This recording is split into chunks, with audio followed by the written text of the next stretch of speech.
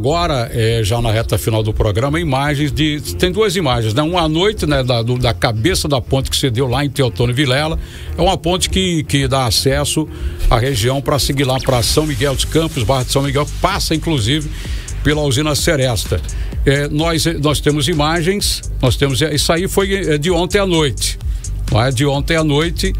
É, mas depois a gente vai ouvir aí o prefeito Peu Pereira, que publicou um vídeo nas redes sociais isso aí, olha só, isso, é um perigo, né? Essa, essa ponte aí que não faz muito tempo cedeu, depois foi recuperada e voltou a ceder agora.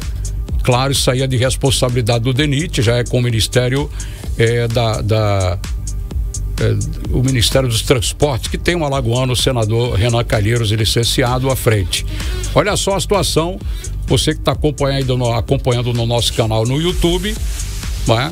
Não dá para passar de jeito nenhum. Você que está viajando aí, que não tomou conhecimento ainda, indo para a região de Teotônio e Vilela com o objetivo de chegar em Campo Alegre, passar lá também para São Miguel dos Campos, Barra de São Miguel e outras regiões ali na área, não passa nem de moto, nem de nada, nem de bicicleta, não é?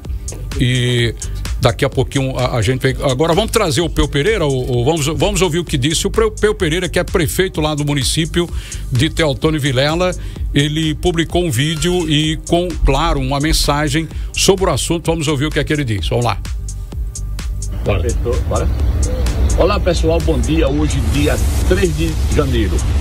Aqui a gente vem aqui na BR-101 agora pela manhã e tivemos a notícia que meia-noite a ponte da Seresta caiu de novo.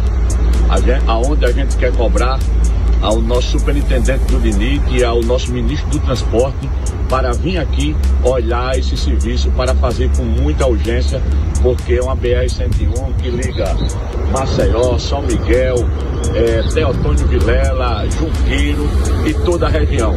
Meu muito obrigado. Fica aqui o meu apelo como prefeito da cidade de Teotônio Vilela para que vocês venham aqui dar uma olhada e iniciar o serviço o mais breve possível.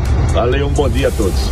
Bom, esse aí foi o prefeito Peu Pereira, prefeito do município de Teotônio Vilela, que fica a 53 quilômetros de Arapiraca. Amanhã voltaremos com essas imagens e saber aí qual a resposta já do Ministério do Transporte, que tem um alagoano, o senador Renan Calheiros, conhece muito bem a região.